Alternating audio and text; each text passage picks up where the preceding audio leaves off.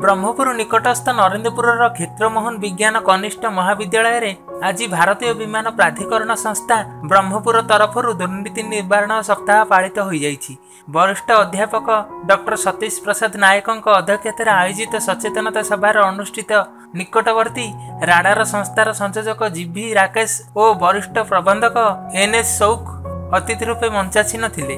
ଓଡ଼ିଆ ଅଧ୍ୟାପକ ଡକ୍ଟର ଋଷିକେଶ ପଣ୍ଡା କାର୍ଯ୍ୟକ୍ରମ ସଂଯୋଜନା କରିଥିଲେ।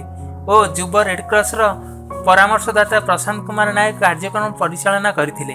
ଅତିଥି ଦ୍ୱୟ ଦୁର୍ନୀତିର ବିଭିନ୍ନ ପ୍ରକାରର ଓ ସମସ୍ୟାର ସମ୍ପର୍କରେ ଆଲୋକପାତ କରିଥିବା ବେଳେ ଡକ୍ଟର ନାୟକ ନିଜ ମନ୍ତବ୍ୟରେ ସର୍ଦ୍ଦାର ବଲ୍ଲଭ ଭାଇ ପଟେଲଙ୍କ ବଳିଷ୍ଠ ନେତୃତ୍ୱ ସମ୍ପର୍କରେ ଆଲୋଚନା କରିଥିଲେ।